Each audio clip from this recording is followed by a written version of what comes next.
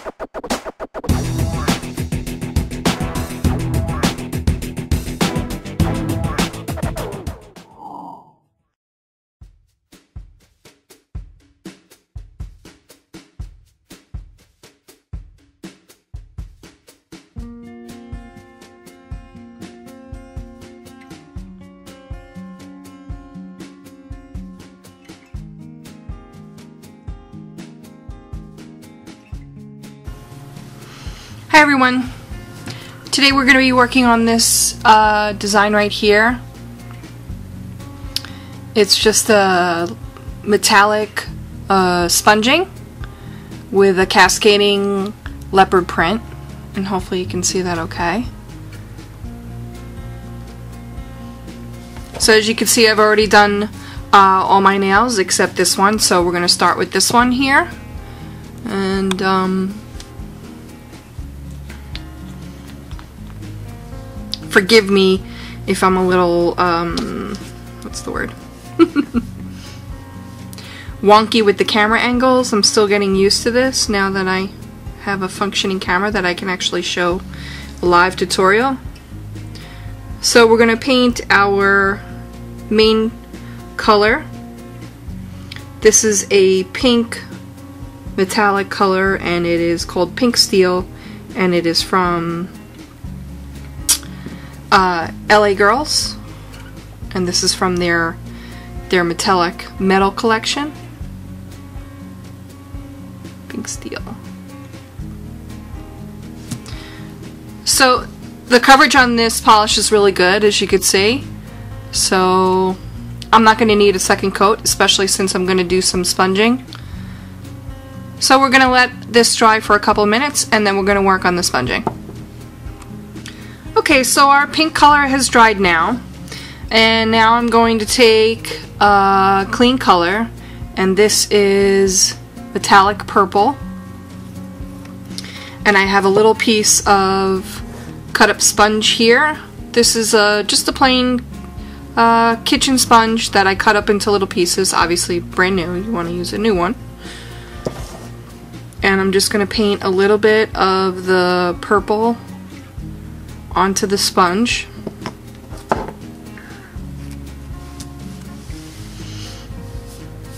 And then I'm gonna um, just lightly sponge a little bit of this purple onto the pink. Just a little bit, a few random places. You still want plenty of the pink to show through. You're just gonna adding some dimension by sponging this purple color. And don't worry if you get it on the sides, you could just take a little q-tip with some nail polish remover and clean up around the nail.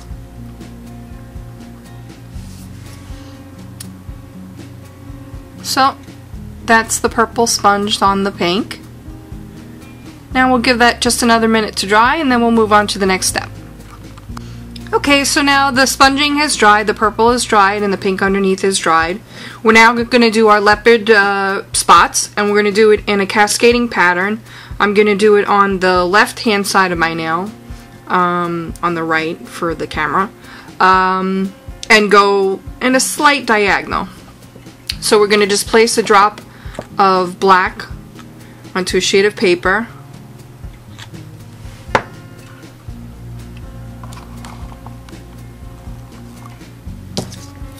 And using um, a dotting tool with a large head I'm going to this camera doesn't want to stay still on my tripod.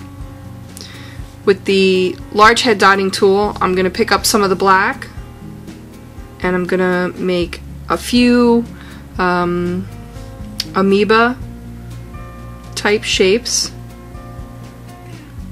on the left side of my nail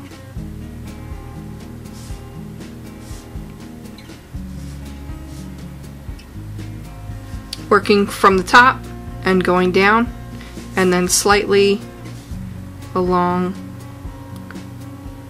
the bottom here. So the end should look like that.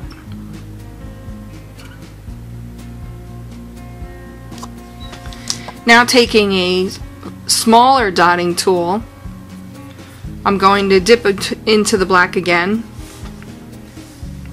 And I'm just going to make some tiny little dots around the outer edges of the uh, the larger spots. Just following the same pattern.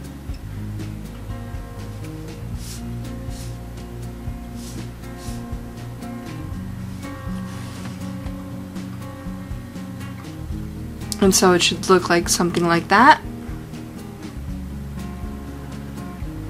And again, we're going to let the black dry and then we're going to come back and do our final step.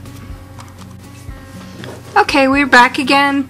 The black has dried and we're going to apply the glitter on top of the leopard spots. This is our final step. And we're using today LA Girls Glitter Addict. And this is a bright um, magenta color and it's called Provocative. So we're just going to place a drop onto our sheet of paper and we're going to be using our small dotting tool once again. This is the tiniest one that I have. It's probably practically non-existent.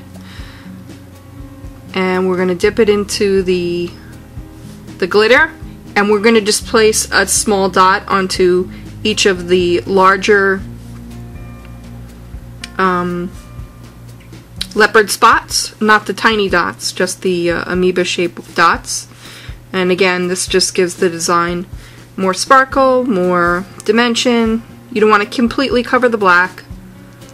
Just want to put a little spot into each one, just like that.